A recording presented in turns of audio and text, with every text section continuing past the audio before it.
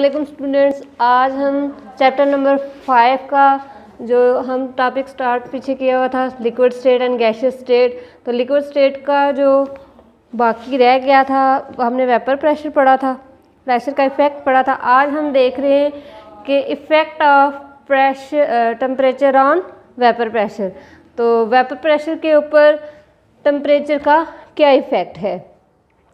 जो vapour pressure होता है, किसी भी लिक्विड का चेंज होता है with the change of temperature जब हम टेम्परेचर को चेंज करेंगे तो वेपर प्रेशर भी चेंज होगा। इन दोनों का रिलेशन जो है वेपर प्रेशर और टेम्परेचर का, दोनों का रिलेशन डायरेक्ट है। जब टेम्परेचर को हम इंक्रीज़ करेंगे तो वेपर प्रेशर भी इंक्रीज़ होगा। अगर हम टेम्परेचर को डिक्रीज़ करेंगे तो वेपर प्रेशर भी डिक्रीज़ करेगा।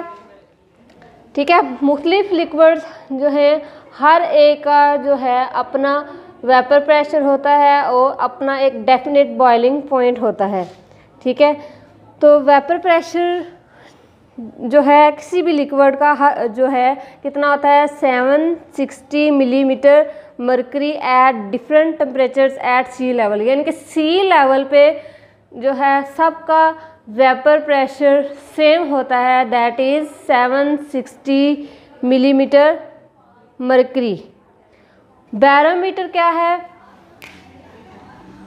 बैरोमीटर इज़ अ डिवाइस ये एक डिवाइस है जो कि टेम्परेचर सॉरी वेपर प्रेशर को मेयर करने के लिए यूज़ होता है।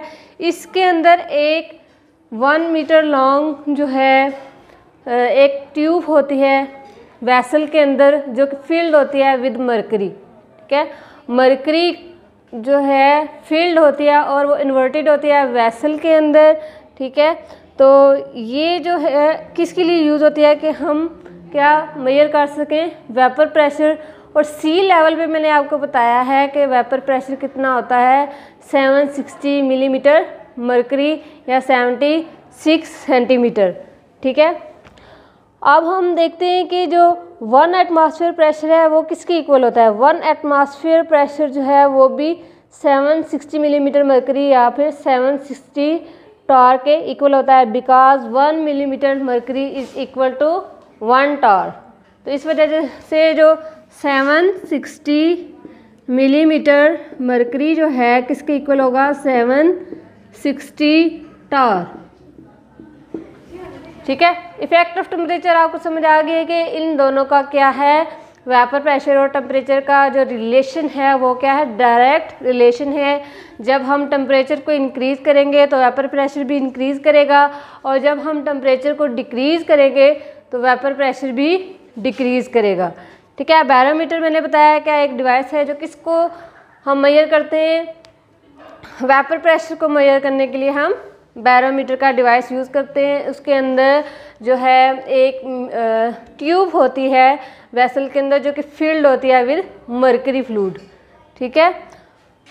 तो वेपर प्रेशर जो डिफरेंट, जो लिक्विड्स हैं उनका बैरोमीटर की मदद से मेजर करते हैं। इनकी, अगर हम वेपर प्रेशर देखें, वाटर का वो कितना है? ट्वेंटी फोर टार है, अल्कोहल का सिक्सटी फाइव टार्स, ये एग्जांपल्स हैं।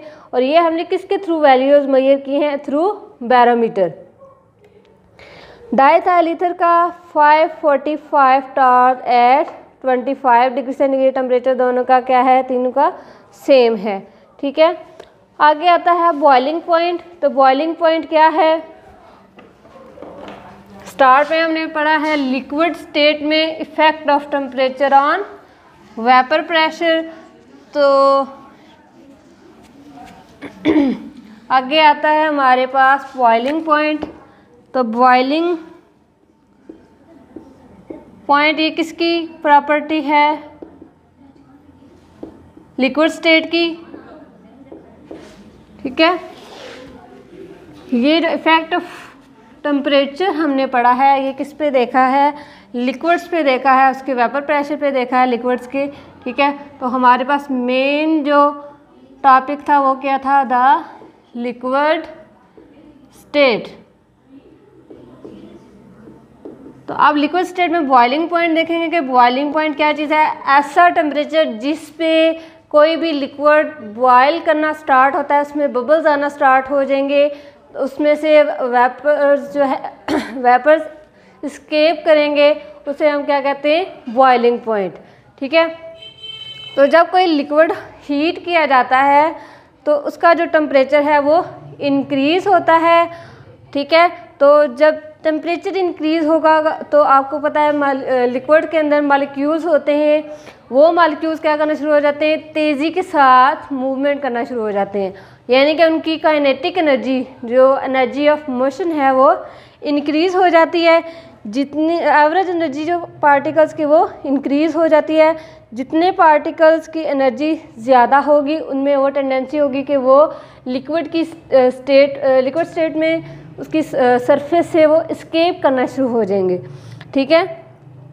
जब हम पार्टिक देखते हैं कि पार्टिकल की एवरेज एनर्जी जो काइनेटिक एनर्जी है एनर्जी ऑफ़ मोशन इंक्रीज़ करती है तो वो एवरेज मालिक्यूल्स जो है एवरेज एनर्जी वाले मालिक्यूल वो स्केप कर जाएँगे ठीक है? और उस स्टेट को, जिस स्टेट में जो है मालिक्यूल स्केपिंग करना शुरू हो जाएँगे एवेपरेशन होगी, उसे हम क्या नाम देंगे? बॉइलिंग पॉइंट ये कब होता है? जब वेपर प्रेशर इंक्रीज होता है लिक्विड का with the increase of temperature आपको पता है टेम्परेचर और वेपर प्रेशर का जो रिलेशन है, वो क्या है? डायरेक्ट रिलेशन है. ठीक है? अब बॉइलिंग पॉइंट पे क्या होता है कि जो वेपर प्रेशर है लिक्विड का, वो एटमॉस्फेरिक प्रेशर के इक्वल हो जाता है। ठीक है? जो बॉइलिंग पॉइंट है एट बॉइलिंग पॉइंट जो वेपर प्रेशर है ऑफ़ लिक्विड बिकम्स इक्वल किसके इक्वल होगा एटमॉस्फेरिक प्रेशर के।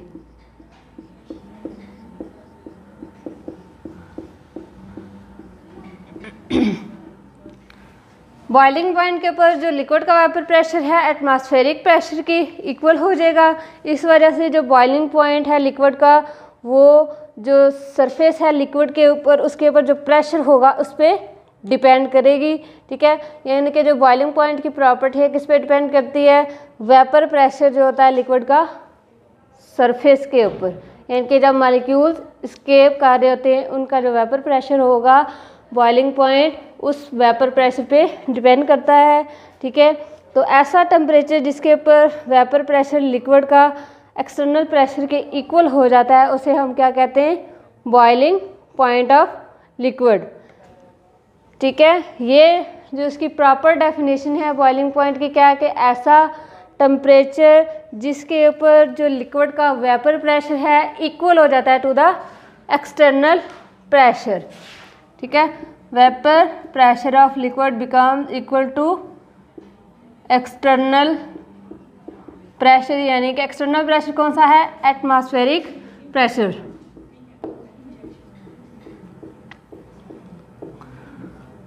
तो इसे हम क्या नाम देते हैं?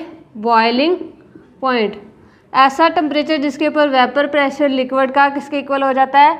एक्सटर्नल प्रेशर ठीक है, उसे हम क्या नाम देंगे? बॉइलिंग पॉइंट एक्सपेरिमेंटली हम देखते हैं कि जो बॉइलिंग पॉइंट है, किसी भी लिक्विड का वो इंक्रीज़ करता है। जब प्रेशर को हम इंक्रीज़ करते हैं और जब ये लोअर होता है, अगर हम एक्सटर्नल प्रेशर को क्या करेंगे? डिक्रीज़ करेंगे। यानी कि दोनों का यहाँ पे रिलेशन क्या है? डायरेक्ट रिलेशन है कि जब किसी लिक्विड का वेपर प्रेशर इंक्रीज़ होता है तो वो एक्सटर्नल प्रेशर भी क्या होता है? उसका डिक्रीज़ होता है। दोनों का डायरेक्ट रिलेशन है, दोनों ही इंक्रीज़ करते हैं, जब होते हैं, दोनों ही डिक्रीज़ होते हैं। ठीक है? नेक्स्ट हमारे पास अगर हम देखते हैं कि जो बॉइलिंग पॉइंट है, उसकी किस तरह की प्रॉपर्टी है, क्या वो चेंज हो सकती है? तो यहाँ से आपको पता चल रहा है कि जब वेपर प्रेशर इंक्रीज़ होता है या डिक्रीज़ करता है तो एक्सटर्नल प्रेशर भी डिक्रीज़ या इंक्रीज़ होता है, जिसकी वजह से बॉइलिंग पॉइंट भी चेंज हो सकता है।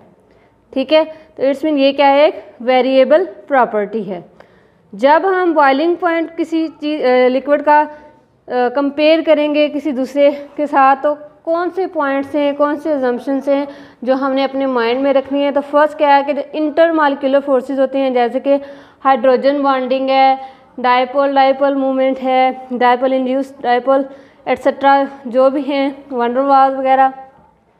ये जो फोर्सेस हैं मालिक्यूल्स के लिक्विड के मालिक्यूल्स के अंदर पाई जाती हैं। जितनी ये फोर्सेस ज़्यादा होंगी, उतना ही ये बॉइलिंग पॉइंट ज़्यादा होगा। यानी कि ग्रेटर द इंटरमालिक्यूलर फोर्सेस, जितनी भी फोर्सेस ऑफ़ अट्रैक्शंस हैं, जितनी ग्रेटर होंगी मालिक्यूल्स के दरमियान, उतना ही जो बॉइलिंग पॉइंट है वो ज़्यादा होगा। Greater the boiling point B P is boiling point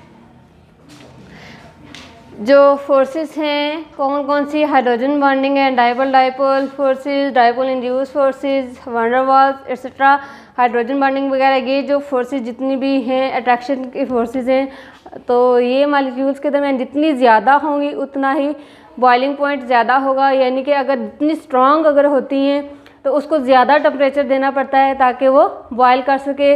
उतना ज़्यादा टम्परेचर देना पड़ता है कि वो जो फोर्सेस हैं अट्रैक्शन की, उनके ऊपर ओवरकम किया जा सके देन जो है वो लिक्विड क्या होगा? उसके मालिक्यूल सेपरेट होंगे स्केपिंग की टेंडेंसी उनकी जो है बढ़ेगी। अगर तो ये मालिक्यूल्स की जो फोर्सेस है अट्रैक्टिव फोर्सेस कम होती हैं देन बॉइलिंग पॉइंट भी क्या होगा? कम होगा। सेकेंड वन है कि जो मालिक्यूलर मैस है लिक्विड का, ठीक है? तो पहले था इंटर मालिकुलर फोर्सेस सेकंड हमारे पास कौन सी आ गई है?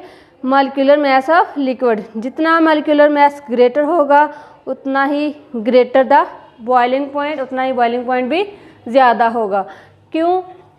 कोई भी अगर ज़्यादा मोलिकुलर मैस वाला मालिक्यूल है तो उसको ज़्यादा टम्परेचर देंगे ज़्यादा उसका टेम्परेचर हाई होगा देन वो बॉयल करेगा। अगर स्मॉल अमाउंट होती है तो उसको स्मॉल टेम्परेचर देने से ही वो बॉयल हो सकता है। तो ऐसा लिक्विड ऐसा मालिक्यूल जिसका जो है मलिकुलर मैस ज़्यादा है, उतना ही उसे ज़्यादा टेम्परेचर देना पड़ेगा ताकि वो क्या हो बॉयल कर सके।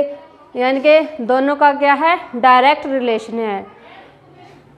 इंटरमालिकुलर फोर्सेस का और बॉइलिंग पॉइंट का डायरेक्ट रिलेशन है मालिकुलर मैसेस का और बॉइलिंग पॉइंट का भी क्या है डायरेक्ट रिलेशन है।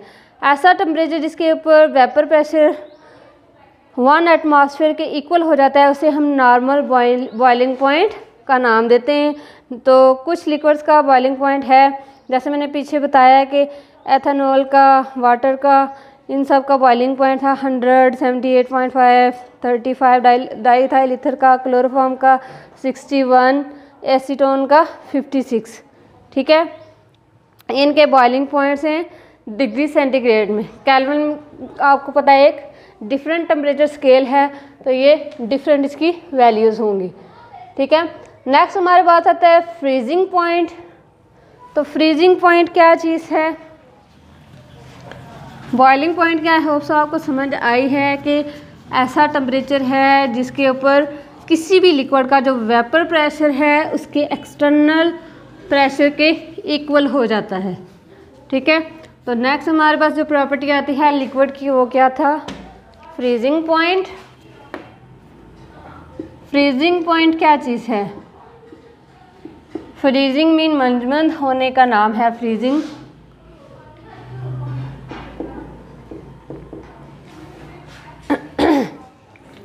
फ्रीजिंग पॉइंट जब टेम्परेचर किसी भी लिक्विड का डिक्रीज़ होगा, तब कोई चीज़ फ्रीज होगी, ठीक है? तो वेपर प्रेशर किसी भी लिक्विड का डिक्रीज़ करता है with the lowering of temperature जैसे कि मैंने बताया है कि दोनों का वेपर प्रेशर का टेम्परेचर का डायरेक्ट रिलेशन है। अगर टेम्परेचर डिक्रीज़ करता है तो वेपर प्रेशर भी डिक्रीज़ करेगा। तो इसी तरह किसी भी लिक्विड का जब हम वेपर प्रेशर डिक्रीज़ करते हैं तो टेम्परेचर लो होता है। ठीक है? तो freezing point is that temperature at which the solid and liquids phases of same substances coexist ठीक है, आयस आपने देखी है?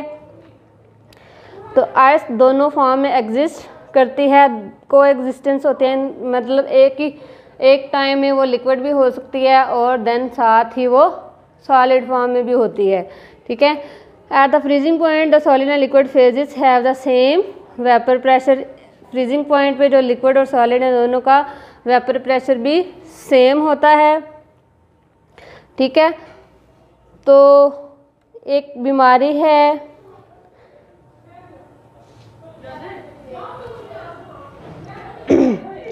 ठीक है, जो वोलेटाइल लिक्विड हैं freons evaporates inside the cooling coil within the fridge and this causes cooling जो वोलेटाइल लिक्विड होते हैं, जैसे कि फ्रियंस ठीक है, ये क्या करते हैं एवेपरेट हो जाते हैं। जो कि आपको पता है वेपरेशन क्या करती है? कूलिंग काज करती है।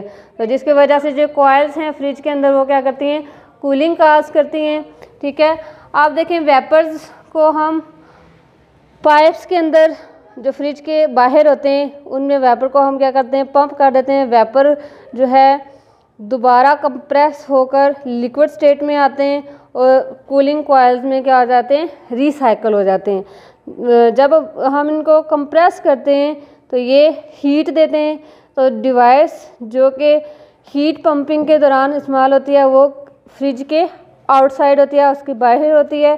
तो you may have notice that coils on the outside of the fridge are warm तो ये आपको पता है कि कॉयल्स जो हैं बाहर वो क्यों वार्म अप होती हैं?